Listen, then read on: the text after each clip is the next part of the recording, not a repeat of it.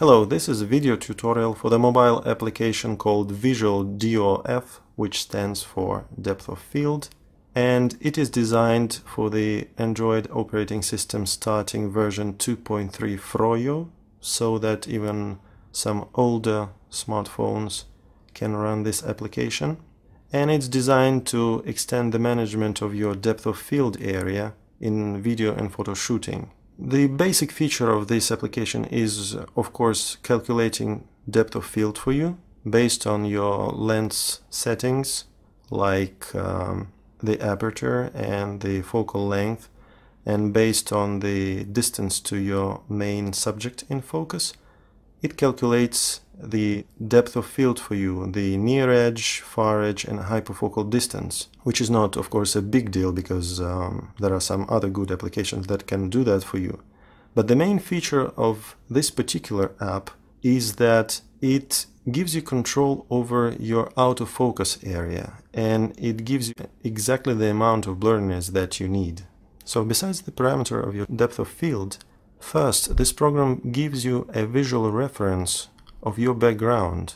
To really use it, you have to use this fourth slider and set the distance to your background. And immediately when you release this slider, you will see a visual reference, a fixed picture that will be as blurred as your real background. And as an example, you can uh, try different apertures and you see as you increase the f number, the picture becomes sharper. And of course, if you open up your lens, when you decrease the f number, the background becomes blurred. This picture will be basically exactly what you will see on the screen of your camera as soon as you make your shot. But besides visual reference, you have this very important parameter, which is called background minimum detail. And it tells you the least objects on the background that will be resolved or recognizable on your background in your shot. So you make sure that this background minimum detail parameter is larger than something that you want to really blur. Like for example, if you want to hide some text of your background and the letters are 20 centimeters high, then you make sure that you step away from that background, that you open up your aperture, that you bring your main subject closer to the camera so that the background minimum detail is not less than 20 centimeters. And also there are some additional helping features in the program that will help you plan your shooting thoroughly before the shooting itself.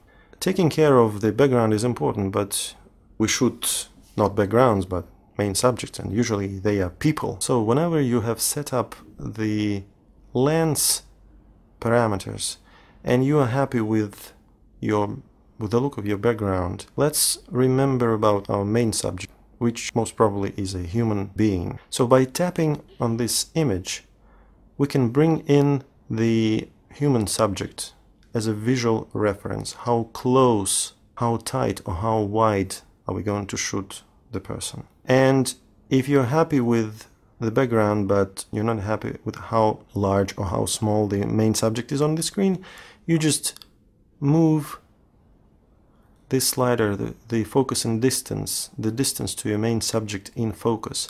By moving it, of course, the size of your main subject changes as in real life, but just keep in mind that by changing this slider, you also change the extent of your blurriness of the background.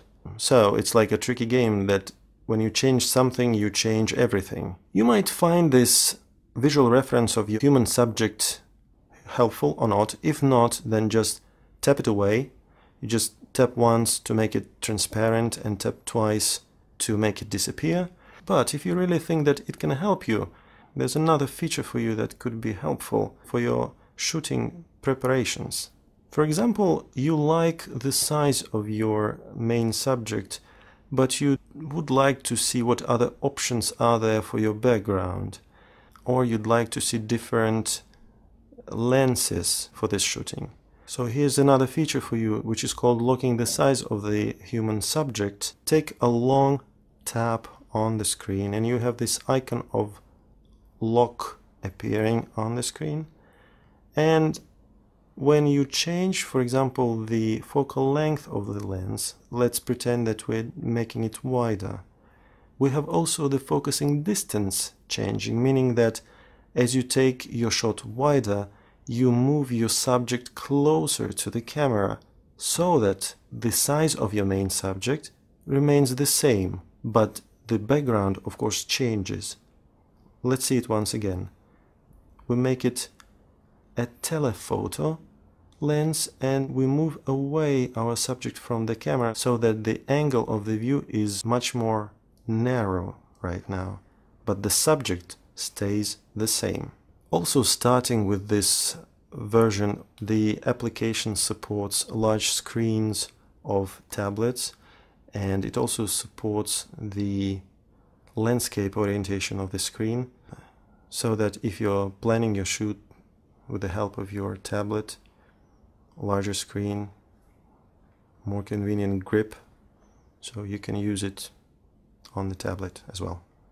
In the end, I'd like to give you some information what's coming up around the corner. In the next Pro version of this program, there will be a lot more of customization, like you will be able to choose different pictures for your background. Also, you will be able to use in this program your own pictures of your real background so that when doing some location scouting, for example, you take the picture of the real place of your shooting and later on in your office you can calculate and plan what lenses you're going to use for this close-up, for that teleshot, for different settings in your future shooting. Also, you will be able to enter the values of these parameters by typing in precisely if you find uh, using sliders a little bit tricky. And if you have any suggestion regarding this program or if you have any complaint that something doesn't work for you, just drop me a line. There's available email address in the program and as soon as I can, I can reply to you or introduce something new in this program if it really feels like absolutely necessary.